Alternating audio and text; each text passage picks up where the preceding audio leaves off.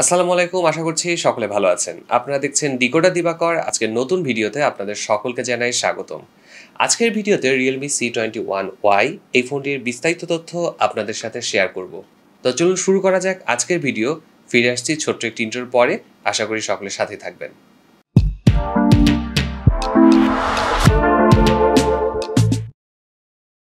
রিয়েলমির box সবসময় সাদা শীতে বক্সটি খুললে আপনি পেয়ে যাবেন একটি প্যাকেটে সিম ইজেকশন পিনের সাথে কিছু ডকুমেন্টস তারপরে পাবেন ফোনটি সাথে দশ ওয়াটের একটি চার্জার এবং তার সাথে একটি মাইক্রো ইউএসবি কেবল প্রথমেই কথা বলা যাক ফোনটির আউটলুক নিয়ে। দুইশো গ্রাম ওজনের ফোনটির ব্যাক সাইডে টেকচার ফিনিশ দেওয়া আছে, যে কারণে স্ক্র্যাচ পড়ার সম্ভাবনা বেশ কম।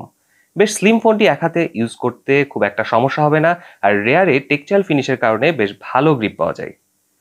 ফিঙ্গারপ্রিন্ট সেন্সরটা আমার কাছে কিছুটা উপরে মনে হয়েছে। এর পজিশন আরেকটু নিচে হলে ভালো হতো। সেন্সরটি অ্যাকুরেট এবং ফাস্ট ফোনটির ডান পাশে আছে পাওয়ার বাটন এবং ভলিউম রকার উপরে কিছু নেই। বাম পাশে আছে সিম কার্ড স্লট আর নিচে আছে micro USB port three point five M M earphone jack আর প্রাইমারি মাইক্রোফোন বারো হাজার পাঁচশো বাজেট সেকশনে টাইপ সি পোর্ট কিন্তু এখন আশা করাই যায়। ফোনটির স্পিকার এর পেছনের সাইডে, যার কারণে ফোনটি ফ্ল্যাট সারফেসে থাকলে সাউন্ড কম শোনা যাবে, এক্ষেত্রে রিংটন শোনার ক্ষেত্রে বেশ সমস্যা হতে পারে। ফোনটিতে ব্যবহার করা হয়েছে six point five inch IPS display এটি একটি এলসিডি ডিসপ্লে যার সর্বোচ্চ ব্রাইটনেস চারশো nits display size six point five inch display resolution সাতশো বিশ ইন্টু ষোলোশো পিক্সেলস ডিসপ্লে রেজুলেশন আসলে এ ধরনের বাজেটে ঠিকঠাকই বলা চলে। আইপিএস ডিসপ্লে হওয়ার কারণে ফোনটি ইনডোরে খুব একটা প্রবলেম না করলেও আউটডোরে বেশ স্ট্রাগল করতে হয়। ডিসপ্লেটিতে ইউটিউব ভিডিও বা অন্যান্য মিডিয়া কনজামশনের ক্ষেত্রে খারাপ মনে হয়নি। ডিসপ্লেটি বেশ কালারফুল এবং ভাইব্রেন্ট যদিও ডিসপ্লেতে কিছুটা নেগেটিভিটি লক্ষ্য করা যায়।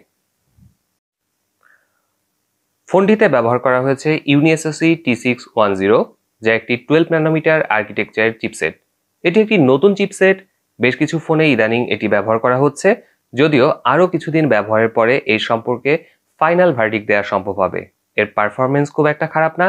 গেমিং পারফরমেন্স বলেন ব্যাটারি লাইফ বলেন, সব ক্ষেত্রেই এটি মিডিয়াটেক হেলিও জি এইটটি এর খুবই কাছাকাছি পারফর্ম করছে।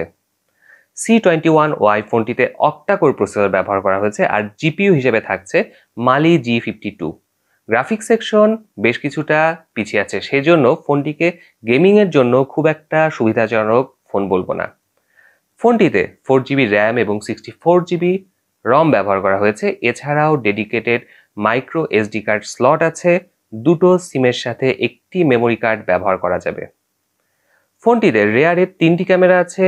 ক্যামেরার মেন সেন্সরটি থার্টিন মেগাপিক্সেল এছাড়া আরও আছে টু মেগাপিক্সেলের একটি ম্যাক্রো সেন্সর এবং টু মেগাপিক্সেলের একটি ডেপথ সেন্সর সেলফি ক্যামেরা হিসেবে থাকছে ফাইভ মেগাপিক্সেলের একটি সেন্সর ক্যামেরার ছবির কোয়ালিটি নিয়ে যদি বলতে হয়, তাহলে বলব ছবির কোয়ালিটি এভারেজ শার্পনেসে ঘাটতি আছে। সব ক্ষেত্রে ডিটেলস ধরে রাখতে পারে না। লো লাইট ইমেজের ক্ষেত্রে অনেক বেশি নয়েজ থাকে। এই বাজেটে এটা আনএক্সপেক্টেড কিছু না। এখন আসা যাক ব্যাটারি সেকশনে পাঁচ হাজার মিলিয়াম্পিয়ারের বিশাল ব্যাটারি ব্যাকআপ পাচ্ছেন সি টোয়েন্টি ওয়ান ওয়াই ফোনটিতে এখন এক কথায় যদি বলতে বলা হয়, এই ফোনটির পারফরমেন্স কেমন হবে, তাহলে বলব সব থেকে ভালো দিক এর ব্যাটারি ব্যাকআপ মডারেট ইউজে অলমোস্ট দেড় দিন সাপোর্ট দিয়েছে আমাকে।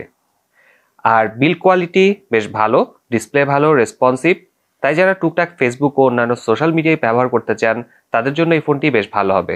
আর যারা গেমিংয়ের জন্য ফোনটি কিনবেন ভাবছেন, তাদেরকে বলব অবশ্যই এই ফোনটি আপনারা কিনবেন না, কারণ এটির যে চিপসেট এবং গ্রাফিক্স সব কিছু মিলিয়ে এটি গেমিংয়ের জন্য খুব একটা ভালো হবে না।